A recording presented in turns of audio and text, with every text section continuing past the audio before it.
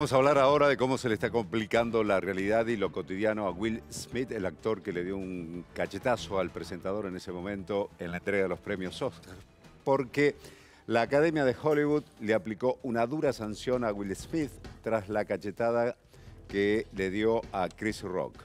El actor no podrá asistir por 10 años a las entregas de los premios.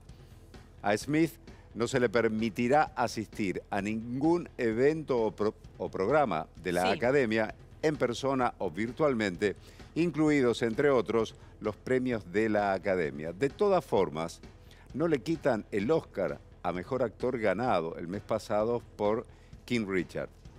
El escueto comunicado no especifica si el actor sigue siendo elegible para recibir nominaciones a los premios, a pesar del veto que prohibiría su asistencia a la gala en el hipotético caso de ser nominado. Están eh, también allí las versiones que Will Smith estaría por iniciar una acción judicial para reclamar su derecho de poder seguir asistiendo allí a las, a las ceremonias y que esa sanción quede sin efecto.